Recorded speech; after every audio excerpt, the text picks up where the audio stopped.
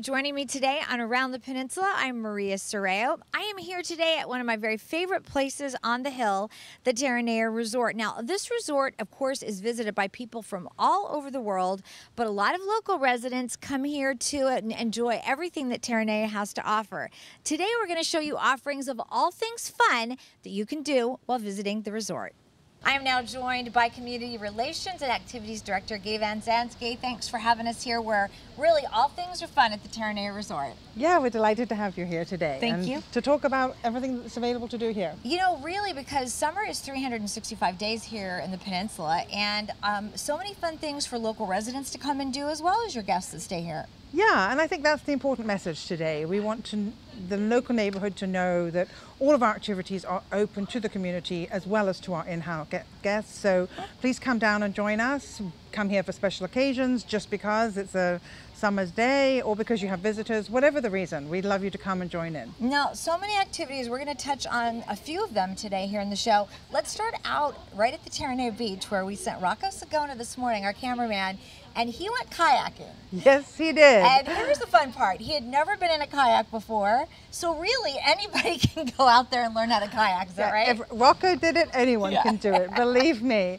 Um, so yeah, we have um, kayaks down at the beach permanently along with paddle boards. Okay. And weather willing, occasionally we, we can't get people out because obviously safety is our primary concern. Of course. But most days we take kayaks out. James Felgar, who handles um, kayaking for us, is, is a great guide. Mm -hmm. He, you literally sit in the kayak and get pushed out. You, if you're lucky, you don't have to get wet.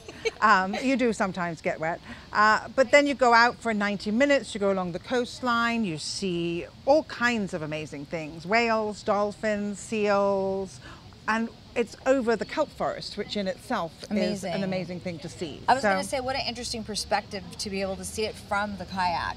Oh, to see Terranea from yeah, the water, amazing. It's so different. Yes. Uh, if you haven't done it, I really recommend it because yes. apart from being in the just stunningly beautiful you know, scenery that we're lucky to be a part of. Uh, right. to see the resort from the water, you really get an idea of the scope of, of, of, how big we are. Right. Now, is this something that happens on a daily basis or how does it work? Absolutely. You can come and make a reservation and we offer kayaking, weather dependent. Yes. 365 days of the year. Nice. So we can take anything from, you know, one person out to a large group.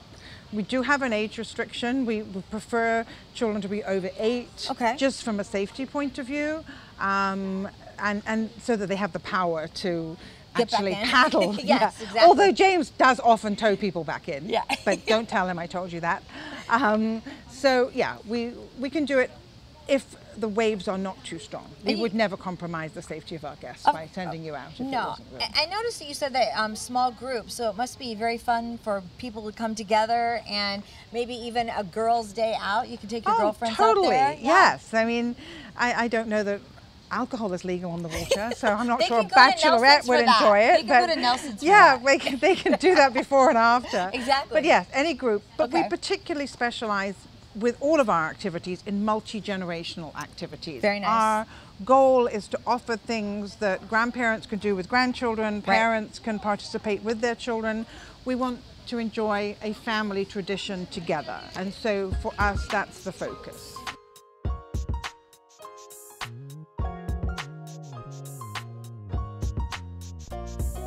Now, Gay, if you would like to hone in on your creative skills, we hear there is a plein air painting class you can take. Tell us about that. Yeah, we have divided our um, activities into three different categories. Okay. We have aqua adventures, terra adventures, so water and land, okay. and then we've recently created a new category called art adventures. Nice. And within art adventures, we offer cake decorating, which we'll talk about. Yeah. And plein air painting, so taken from the French to uh, paint in the open air. We have um, tutors who come and they guide you. Don't necessarily teach in a very sort of structured way, but help you to create your own masterpiece watercolors, and they tend to be subject matters around who and what we are. So Okay. it might be a seascape, it might be birds, it might be a garden, flowers. So things that are relevant to the Terranea landscape. Which is kind of amazing because when you think about it, you're coming here to this beautiful resort. You can actually create something that will remind you of your trip. Absolutely, that's the point. You create Yes. your own work of art and you take it home. And how cool is that? So, and even if you just live up the hill, that is even cooler because you Yeah. can say, I went down the hill, I learned how to paint, and here it is. Yeah, and you were, we were mentioning the ladies sort of night out or, or the ladies groups doing kayaking. Well, this is a great activity for a group of ladies to do together because Yes. we do offer it with wine. Oh, it makes it even Not better. sure if that helps or hinders the creative ability, I think but it helps. we offer wine with painting. Now, is that something that people do on a daily basis, a weekly basis? How does that work? We can set it up on a regular basis. At the moment, we have a regular standing class on a Sunday afternoon. So come and join that one or call us and we'll set something up especially for you. The painting groups, how large are they or small are they? Or I think on average they tend to be around six or eight at the moment, but they're growing Nice. because we're there every Sunday. People are beginning to, to see it and, Sure. and realize that it, it's something that they can do. So all of these activities are growing. Looks like you have a pretty fantastic group behind you painting here at this beautiful resort. Tell us about this. They are brave, but also they're experiencing their little inner artists. It sounds so cliche, but it's true. Um, I think the older people get, the more fearful they are of art, unless they've been doing it since. But we say our target audience is adults who haven't painted since third grade.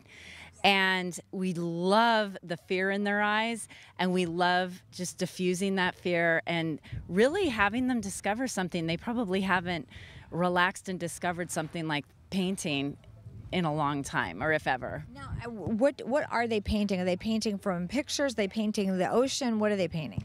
We have a variety of ocean scenes and seashells, uh, seahorses, a lot of coastal views of the Point Vicente Lighthouse, the cove down below. Um, whales, uh, we like to focus on the whales because that's a big thing here. Um, anything pertaining to Terranea and Palos Verdes, indigenous too. It'd be pretty amazing for people that don't think they can do something like this to actually see a picture when they're when they're done. It's the biggest high. I am telling you, we've got it down to a model where we sketch it out for you and we guide you with pictures and also step by step instruction. And within two hours, I'm saying, I mean, we're pretty happy with the results we can get and have for you to get in two hours. It's, it's pretty fun.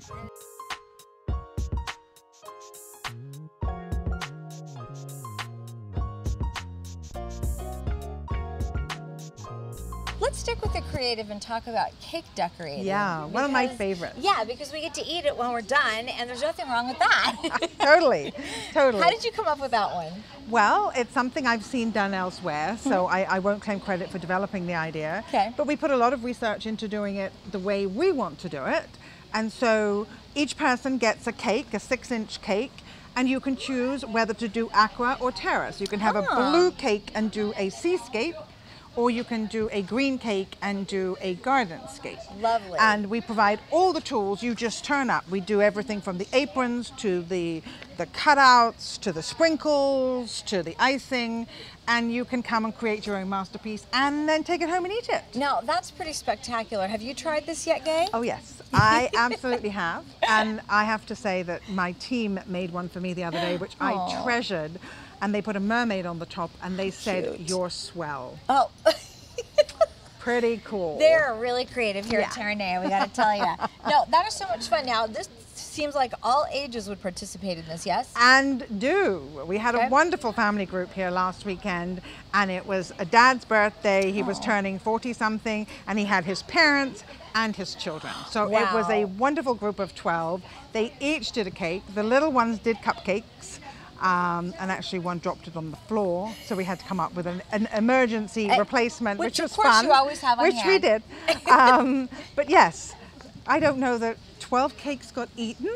but 12 cakes were decorated. You know, Dad's like cake too, so he probably took them back and, and enjoyed we them later. We delivered them that night to their villa, and they had a birthday party with cake. Well, I'm learning a thing or two about cake decorating right out here with Jacqueline. Tell us about this cake decorating. What a great way to have a party, decorate your own cake, and have some fun. Absolutely. So we offer this cake decorating activity here at Terranea. It's a great family fun activity. We could do birthday parties, bachelorette parties. Um, we've even had just kids parties where they were celebrating the beginning of summer and they did cake decorating. They combined it with pizza.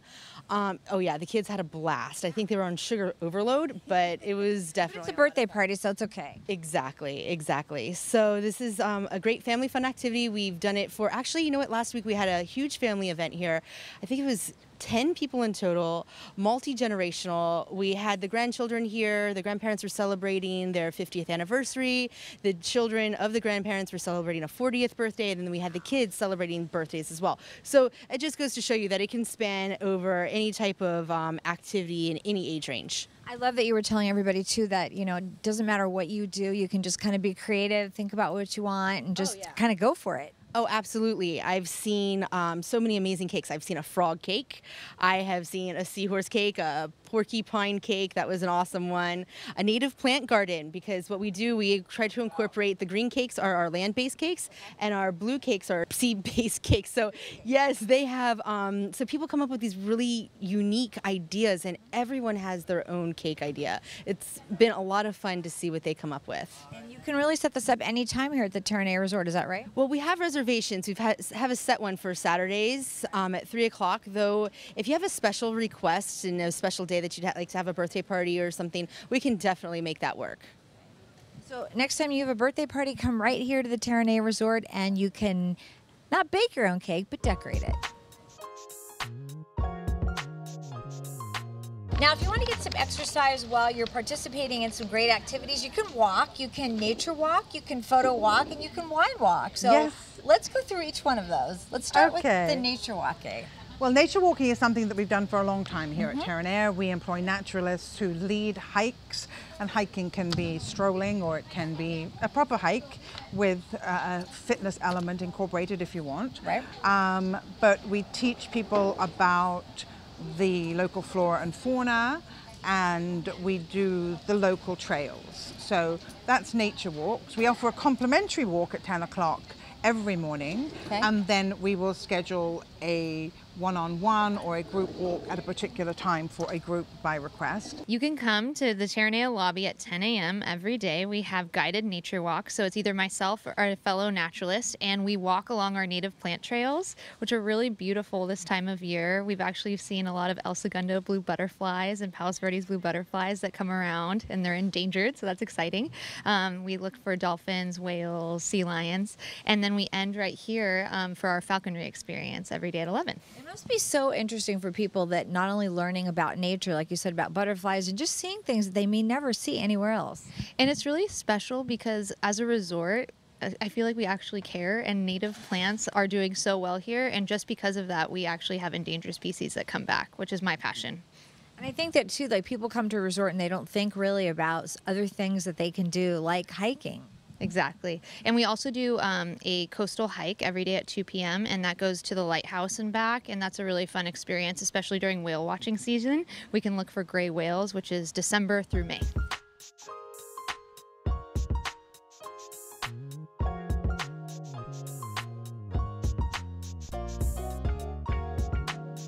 We have recently started a new concept called a photo walk, Okay. where we bring in a an experienced photographer mm-hmm. who teaches you how to get more from your camera, whether that's your cell phone or whether that's a more sophisticated camera. But she spends an hour with you walking around the resort, teaching you how to take better photos of yourself if you want. I know selfies are the thing. Well, the selfies Or with the ocean scenery. behind you, right, yeah. Yes. And This- so Erin is very talented, and everybody can learn more. Well, I think this is probably one of the most photographed areas, if not in the state, in the world, mm-hmm. especially this this coastline. Yep. So to be able to have a trick or two up your sleeve to take an even better picture that you can show off to your friends, how amazing is that? And I have to say that I learned things within the first 10 minutes of being with Erin that I had no clue my camera would do. Exactly. And she really does have a different insight. So it's a great gift for somebody who's interested in photography Yeah. or just for your mom or dad because it's something different. people just show up and we have a fun workshop. And of course, taking advantage of the entire beautiful landscape of Terranea. And they can use any camera that they want. So if they have, let's say, a digital SLR where you can interchange the lenses, professional, or a compact camera, or even a smartphone. It's all about the light and it's about the composition and having fun taking photos. What's the number one thing that people ask you when they're getting ready to take a picture or something? what's the best light? How do I look good in the light and how do I make someone else look good in the light? So that's one of the things I teach is being able to identify and to find the great light, the quality of light to be able to identify that and how soft, how hard it is and also the direction. So sometimes it seems like it's a big mystery, but it's really not. People always want to get amazing pictures of the coastline here. Um, what's the biggest trick there? time of day. So the later in the day or earlier, depending if you want to get up early or not, typically is the best time. That's why landscape photographers love to take pictures early in the morning or late in the afternoon because that late afternoon or early morning light is directional and it creates shape and form across everything and it just makes it more beautiful. About how many people do you usually take out, um, and how often do you do it? Well, usually once a week, and it could- be two people, it could be up to 10 people at one time. I give everyone personal one on one instruction and great ideas and inspiration, and have a lot of fun and leave the class with new ideas and a lot of good pictures. And uh, where do you go? Where do you start, and where do you kind of walk to? Kind of depends on what people want to do because it's very customized. There's no one set place we go, although I do happen to know some good spots here, so we'll do those. But um, it's pretty much whatever people want to do. People come from all over the place, and that's what's so fun about it. I love meeting people and finding out what they're doing, and hopefully, I can give them some ideas too. Is it more difficult to take a picture with your phone than a nice camera? Or Well, sometimes it is because you can't hold on to it that well. So I have a couple ideas and devices you can use, and that tends to be the biggest problem. okay, tell us, show us some of the things that fun things that you brought with you today that you mi- might use on a walk. Okay, well, let's see. One um, is the selfie stick, which I know these can be kind of obnoxious sometimes, but they can actually come in pretty handy. So, for instance, you know, I can take the picture from a little bit farther away, which always makes people look better, right? You don't want that camera right up in your face because whatever's closer to the camera lens looks bigger. Why does my nose look so big in that picture? Because the camera's too close. So, anyway, this helps. Um, I also have some little reflectors I like to bring with me and just helping people understand about the light, not only finding the good light, but say reflecting the good light, like, oh, there's my reflector, hello. Um, something, things like this. Okay. Those are the basics because it doesn't really have to be all about the accessories and everything. It's really more about seeing the light and then capturing that and learning about composition too. What are some of your favorite things to take pictures of here at the resort? Well, the flowers are beautiful, and of course, the coastline. Um, people sometimes, just the people you're with, knowing how to take a better photo of them while you're here with them is a great thing, too. So the pool's pretty, just kind of depends. Like every creative person, photographer, they walk around and they just see something that catches their eye, and there's a lot here to see.